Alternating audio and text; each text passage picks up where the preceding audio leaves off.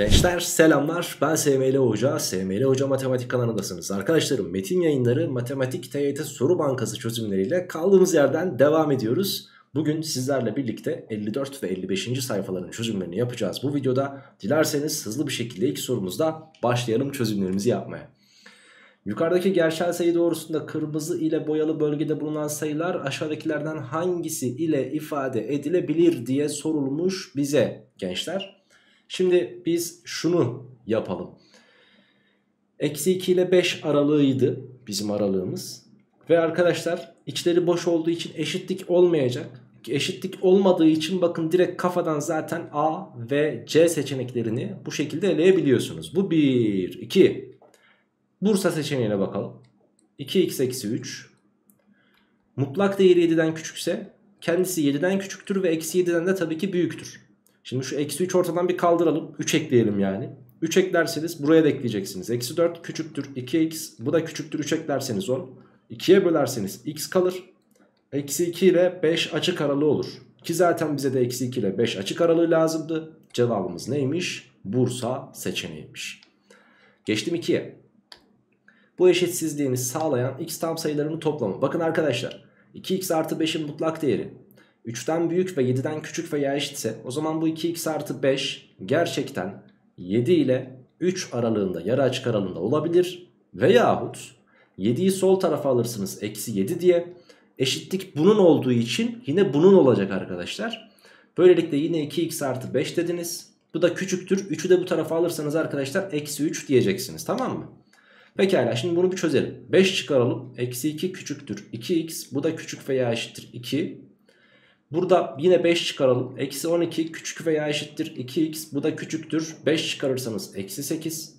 Daha sonrasında 2'ye bölün. Eksi 1 küçüktür x bu da küçük veya eşittir 1. 2'ye bölün. Eksi 6 küçük veya eşittir x o da küçüktür. Eksi 4 olur. Buradaki x tam sayılarının toplamı sormuş bize. Bakın eksi 1 ile 1 aralığında bir 0 var. Bir de 1 var. 1'e eşitlik olduğu için aldık. Burada da arkadaşlar eksi 6 var ve eksi 5 var. Başka yok.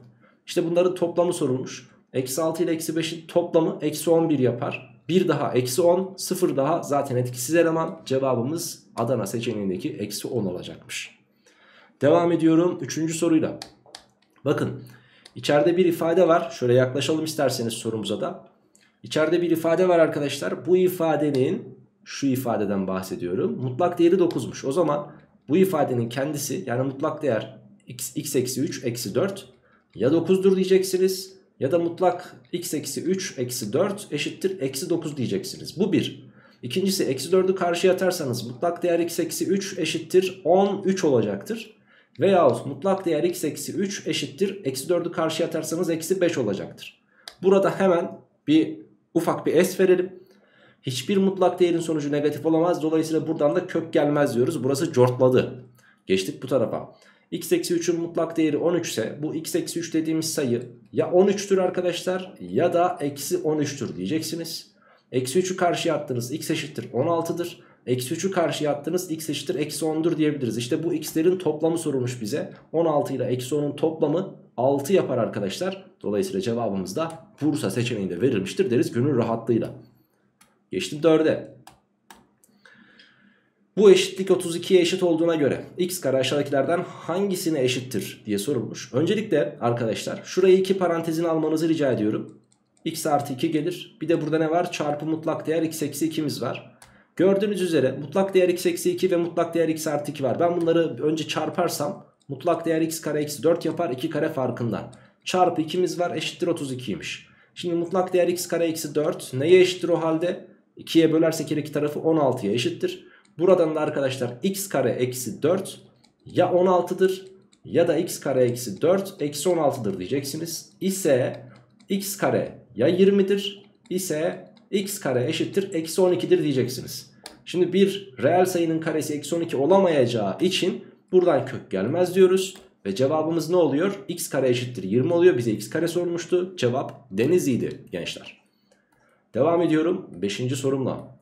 A tam sayısı için a artı 2'nin mutlak değeri 7'ye ve mutlak değer a eksi a'ya eşittir denilmiş. Şimdi a'nın mutlak değeri eksi a ise gençler a mutlak surette eksiyle çarpılıp dışarı çıktığı için ya negatiftir ya da sıfıra eşittir diyeceğiz. A artı 2'nin mutlak değeri 7 ise A artı 2 ya 7'dir ya da A artı 2 eksi 7'dir diyeceğiz. Buradan A eşittir 5 gelir veyahut A eşittir eksi 9 gelir. Yalnız dikkat edin dikkat edin. Biz A'yı sıfırdan küçük veya eşit bulmuştuk. A 5 olamaz dolayısıyla buradan gitti. A kaçmış arkadaşlar? Eksi 9'muş. Şimdi eksi 9'u getirip şurada yerine bir güzel yazacağız. Eksi 9 eksi 2 daha eksi 11 mutlak değeri 11. Eksi 2 kere eksi 9 eksi 18 yapar. 2 çıkardım eksi 20 mutlak değeri 20 yapar. Bölü. Eksi 9'un mutlak değeri 9'dur. 9'dan 6'yı çıkardınız 3. 11'den 20 çıktı. Eksi 9 bölü 3 ne yapar arkadaşlar? Eksi 3'ü verir bize. Dolayısıyla cevabımız da Ceyhan seçeneği olmuş olur 5. sorumuzun. Geçtim 6'ya. Sayı doğrusu üzerinde eksi 2 ve 3 noktalarına olan uzaklıkları toplamı 6 birim olan noktaların geometrik yeri hangisi ile ifade edilebilir diye sorulmuş. Bir sayının eksi 2'ye olan uzaklığını x'ten eksi 2'yi çıkarıp mutlak değerini alarak bulursunuz. Artı 3'e olan uzaklığını da x'ten 3'ü çıkarırsınız ve mutlak değerini alırsınız. Bunların toplamı 6'ymış. Şimdi arkadaşlar x eksi eksi 2 ne yapar? x artı 2 yapar. Bakın x artı 2'nin mutlak değeri artı x artı eksi 3'ün mutlak değeri eşittir 6. Bize cevabı verecektir. İşte bu cevaptır arkadaşlar. Dolayısıyla bu da nerede verilmiş? Bakın Adana seçeneğinde verilmiş zaten. Doğru cevabımız buydu. Devam ediyorum 7. sorumla. K gerçel sayısı için 4 tane mutlak değer K eşittir. Bakın eşittir diyorum. Karşıya attım. K artı 15. Şimdi o zaman mutlak değer K dediğimiz ifade aslına bakarsanız K artı 15 bölü 4'e de eşittir. Her iki tarafı 4'e bölerseniz. Şimdi gençler devam ettirelim. Burada K reel sayısının mutlak değeri buysa o zaman K dediğimiz sayı ya K artı 15 bölü 4'tür ya da K reel sayısı K artı 15 bölü eksi 4'tür. Yani üst tarafı da eksiyle çarpabilirdiniz sadece. Hiç fark etmez arkadaşlar. Eksiyi nereye koyduğunuzu. İşler dışlar çarpımı yaparsanız 4K eşittir K artı 15 gelecektir. Buradan gençler 3K eşittir 15 dersiniz. 3K eşittir 15. K'da kaç gelir? 5 gelir. Bu 1. İkincisi eksi 4K eşittir K artı 15 olursa eğer buradan da eksi 5K eşittir 15 gelecektir ve K eşittir eksi 3 diyeceğiz. İşte bu K değerlerinin toplamı istenmiş. 5 ile eksi 3'ün toplamı bize 2'yi verir. 7. sorumuzun cevabı da böylelikle Bursa seçeneği olmuş olur. Evet arkadaşlarım bir diğer sayfamıza 55. sayfamıza geçiyoruz. 8. sorumuz. İçerisinde A gerçel sayısının yazılı olduğu en kenarlı bir çokgenin değeri x eksi a'nın mutlak değeri eşittir n denkleminin kökler çarpımına eşittir demiş. Bakın şimdi bir engen var arkadaşlar. En kenarlı bir çokgen. İçinde a yazıyorsa x'ten a'yı çıkarıp bunu kenar sayısına eşitliyoruz. Mesela şöyle örnekte nasıl yapmış? x'ten 2'yi çıkarıp mutlak değerini alıyorsunuz ve bunu üçgenin 3 üç tane kenarı olduğu için 3'e eşitliyorsunuz. Bu da x eksi 2 ya 3'tür ya da x eksi 2 eşittir eksi 3'tür mantalitesiyle x eşittir 5 gelir x eşittir eksi 1 gelir. Ve arkadaşlar bununla bunun çarpımı da eksi 5 olduğundan cevap eksi 5'e eşittir denmiş. Buna göre bu ifade kaça eşittir? Önce içeriği bulacaksınız. Yani bunu bulacaksınız. Bu ne demek arkadaşlar? x'ten 3'ü çıkarıp mutlak değerini alıp 4'e eşitlemek demektir. Ve bunun sevgili arkadaşlarım kökler çarpımını bulmamız gerekiyor. Şimdi x eksi 3 ya 4'tür diyeceğiz ya da x eksi 3 arkadaşlar eksi 4'tür diyeceğiz. Buradan x eşittir 7 veyahut x eşittir eksi 1 gelecek. Bunların çarpımı eksi 7'yi verecek. Yani arkadaşlar şu içerideki 3 demek aslına bakarsanız eksi 7'nin ta kendisi demekmiş. Eksi 7'nin ta kendisi demektir.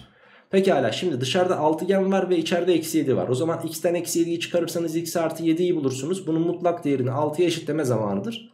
x artı 7 böylelikle ya 6 olur ya da x artı 7 eksi 6 olur arkadaşlar. Buradan x eşittir eksi 1 veya x eşittir eksi 13 gelir. Şunla şunu çarparsanız da cevap Denizli seçeneği olur. Doğru cevabımız Denizli'ydi sevgili gençler. Devam ediyorum 9. sorumuzda. Şimdi 9. soruda arkadaşlarım. iki tane mutlak x artı x eksi 2 eşittir 6 eşitliğini sağlayan x gerçel sayılarının toplamı nedir diye toplamı kaçtır diye sorulmuş bize. Öncelikle şöyle diyelim. Bizim bir sayı doğrumuz var. Şu ifade x'in 0 olan uzaklığıdır. 0 burası. Şu ifade x'in 2'ye olan uzaklığıdır. 2 de arkadaşlarım hatta 0'ı birazcık daha sola çekelim. Şöyle 0 burada olsun. 2 de burada olsun tamam mı? Şimdi arkadaşlar benim x dediğim e, sayı şurada bir yerde olsa x'in 0'a olan uzaklığının 2 katıyla x'in 2'ye olan uzaklıkları toplamı maksimum 2'dir. Hatta 2'den büyüktür ama e, maksimum 2'dir aynen. Peki o zaman ne diyeceğiz arkadaşlar? Burası maksimum 4 mu olur? 4 olur. Ama burada 6 demiş. Demek ki x burada değil. x nerede? Ya burada ya da burada. Şimdi arkadaşlar varsayalım ki x sol tarafta olsun. x'in 0'a olan uzaklığı sevgili arkadaşlar a ise x'in x'in 2'ye olan uzaklığı ise a artı 2'dir. Niye? Çünkü a'nın üzerine 2 birim daha eklenmiş. O zaman şunun 2 katı demiş bakın x'in 0 olan uzaklığının 2 katı demiş. 2a artı bir de x'in 2'ye olan uzaklığı a artı 2 kaçmış 6. O zaman 3a eşittir 2'yi karşı attınız 4. a eşittir 4 bölü 3'ü yakalarsınız. Şimdi a'yı 4 bölü 3 bulduk. O zaman x'in değeri kaçtır? Sıfırdan a kaçtı? 4 bölü 3. 4 bölü 3 çıkarırsanız x eşittir. Eksi 4 bölü 3'ü bulursunuz bu cepte. Eğer x bu tarafta olursa yine a'ya a artı 2 derseniz bu sefer de sevgili arkadaşlarım bu sefer de şunu bulursunuz.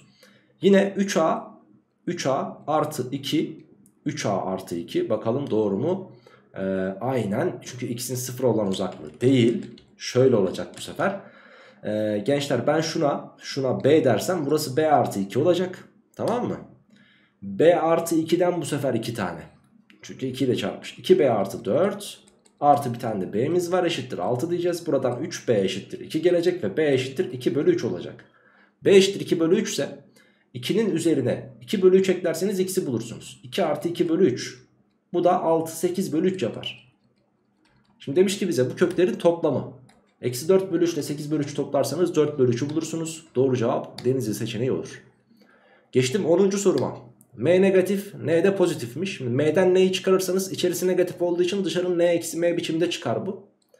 M karenin mutlak değeri, M karenin mutlak değeri M kare pozitif olduğu için direkt M kare diye çıkacaktır. Eksi N karenin mutlak değeri e, N kare diye çıkacaktır. Önünde de ne var? Eksi var. Eksi N kare. Bölü N eksi M. E, pozitif olduğu için direkt olduğu gibi çıkacak. Şimdi arkadaşlarım üst tarafta ben şunu şöyle biraz çekeyim.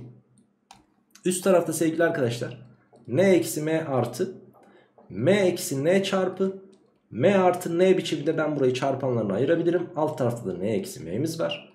Ve bunu da n eksi m ortak çarpan parantezinde şurada bakın n eksi m ile m eksi n birbirinin eksilisi olduğu için burada artık eksi m eksi n kalacaktır. Alt tarafta da n eksi m'miz mevcut. Jort jort gitti mi gitti. Yukarıda sadece ne kaldı? Eksi m eksi n kaldı arkadaşlar. Ve e, bir yerde hatamız var mı? Var tabii ki.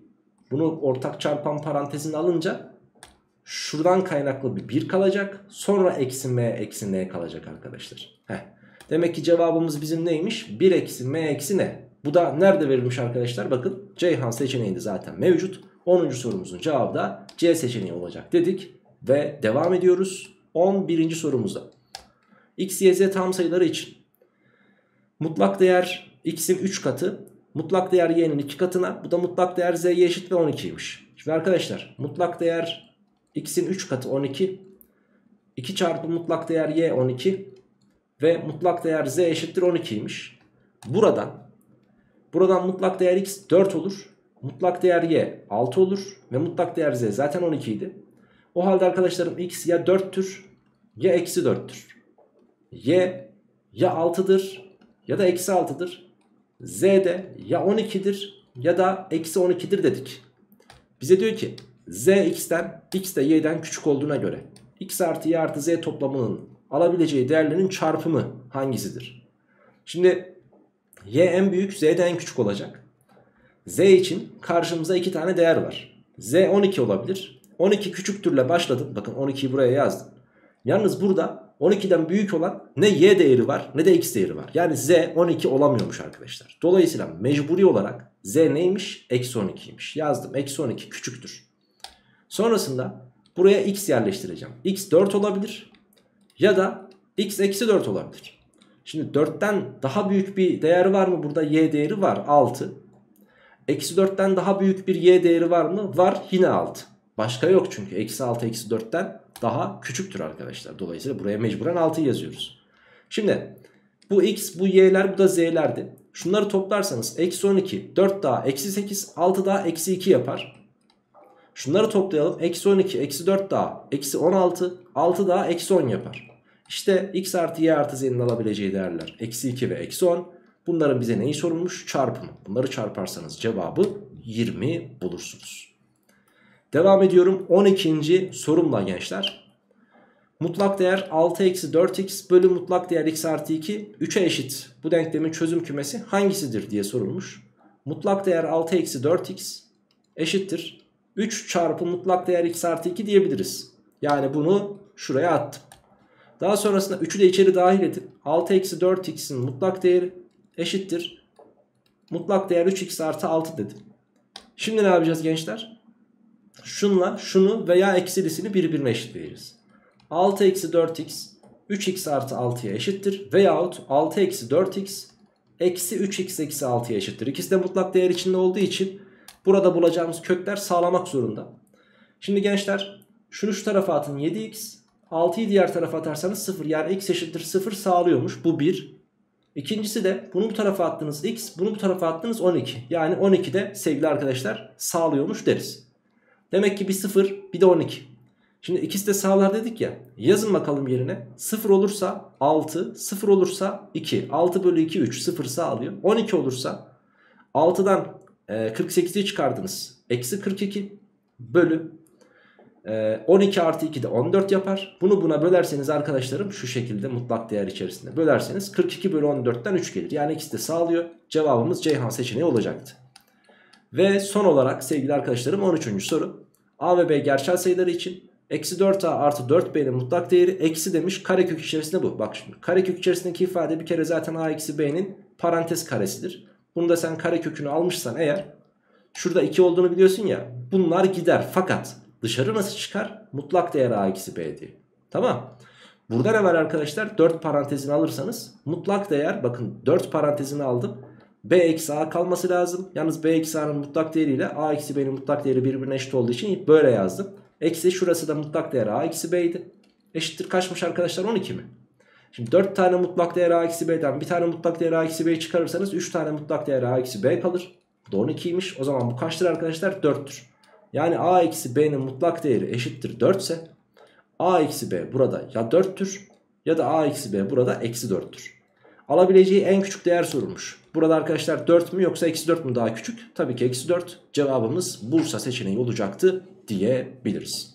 Evet gençler 55. sayfamızda çözümünü bitirmiş bulunuyoruz. Bir diğer testte üniversiteliyim testinde mutlak değerde 17. testimiz arkadaşlarım görüşürüz. Sizleri seviyorum. Hoşça kalın, sağlıkla kalın ve tabii ki bol bol matematik çalışmayı da lütfen unutmayın.